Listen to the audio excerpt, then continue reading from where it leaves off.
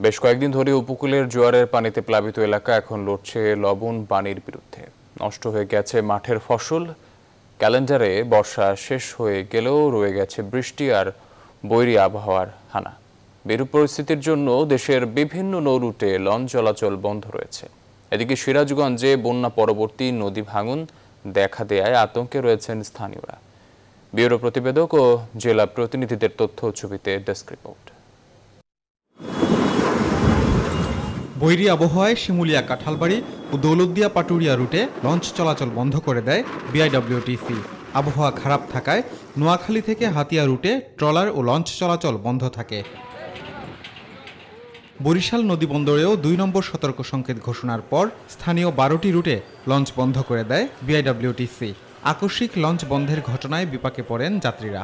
আমি বরিশাল ডাক্তার দেখাতে আসছিলাম, আজকে তিন দিন হয়েছে এখন বোলার উদ্দেশ্যে রওনা করব আসে শুনি লঞ্চ ছাড়বে না। ভোলাতে রওনা দিয়েছিলাম এখন তাই এসে দেখি বন্ধ লঞ্চ এখন কি করব?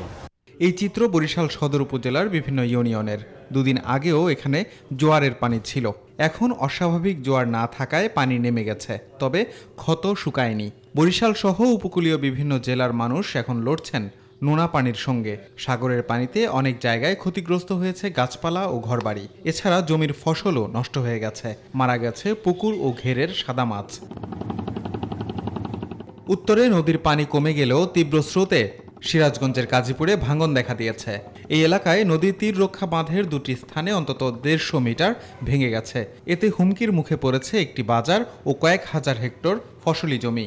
জায়গা একবারে ধসের স্রোতে মানে নিচের দিকে চলে গেল এলাকার লোক আতঙ্ক। বাঁধটা যদি রক্ষা না করা যায় তাহলে আমাদের দুঃখের আর সীমা থাকবে না।